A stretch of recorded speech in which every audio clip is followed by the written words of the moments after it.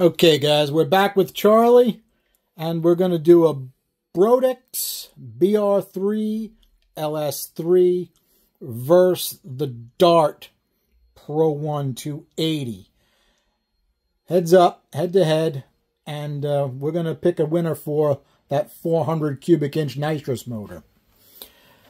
We're going to take a look at this. Now, this is the BR3, which comes with a 275cc port, a 71cc chamber, which is a little bigger than the Dart 68cc chamber, but the Dart's got a little bit bigger port. Now, for just S&Gs, I measured how wide the bowl is. The BR3s have a deep, a wider bowl. Okay, Charlie did a great job porting. You can see he went over the whole thing with uh, a carbide and then sand rolled the whole thing.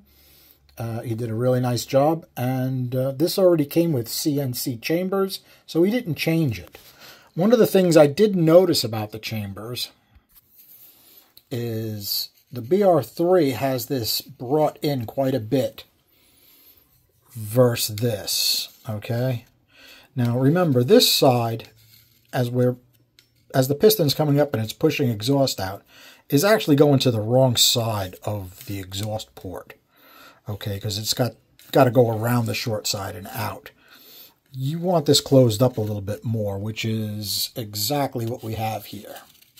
And you'll notice when we uh, do the exhaust, how much different they work. Another thing is how big these pads are. So this has a little bit less of an angle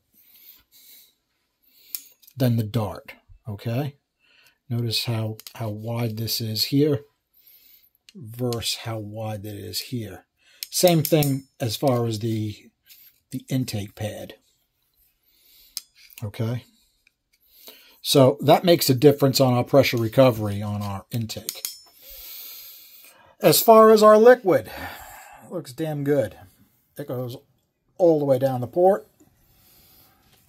We've got a little bit of speckle action here, not bad. A couple little drips along here, not bad.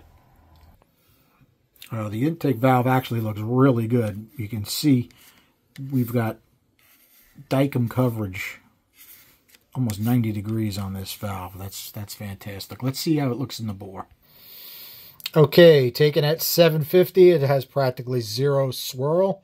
And you can tell it has practically zero swirl by the angle of that Dykem. Okay, take a look right down its throat. You can see that how far back that Dykem goes.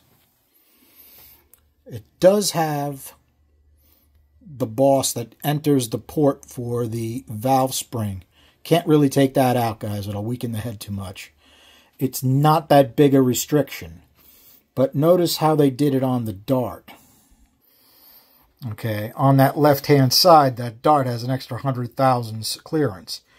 Now, the way the BR3 is, on the right side of that port, it's taller than the dart.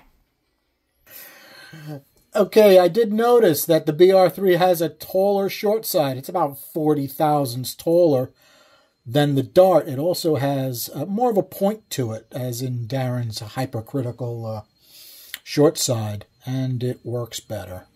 So we need to move on to our flow numbers.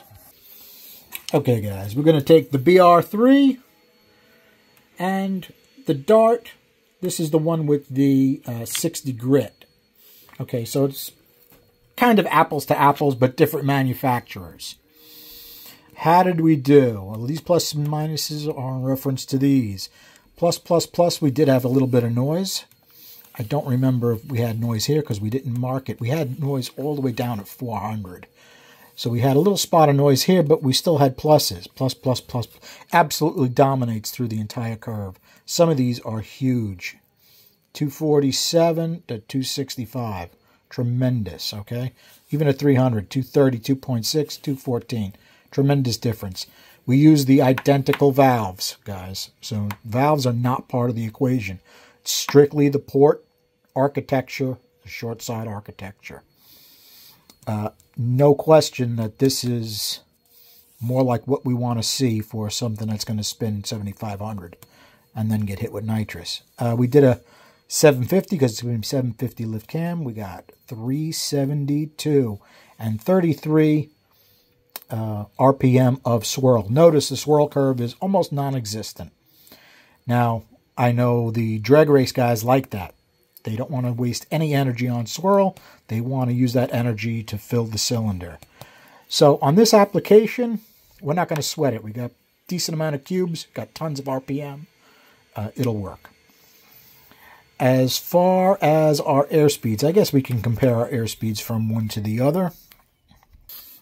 Okay, this sheet is the Dart. These numbers here are the BR3. These pluses and minuses are in reference to these. Plus plus equal. We're moving more air, so our pinch is going to be faster. We have a little bit more of a discrepancy across the roof, but we're also moving more air.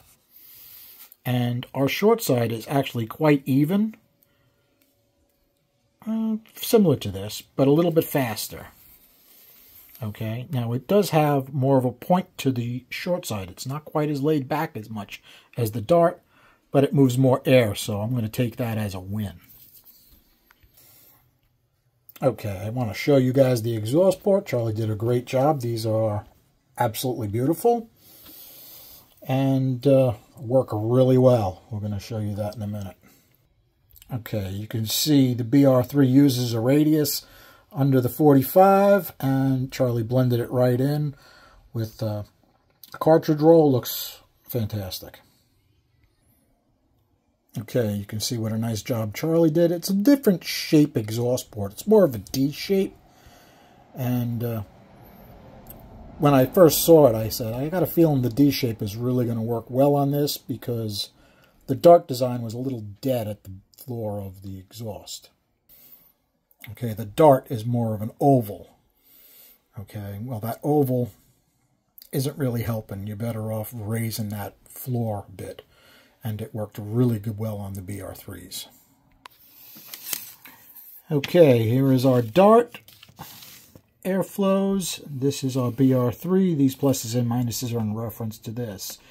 All of the information for the engine and car are the same for both the customer actually bought two sets of heads to compare them for this engine. My kind of guy. Okay, we're we're laughing here. We're having a good time. So these pluses and minuses are in reference to the Dart.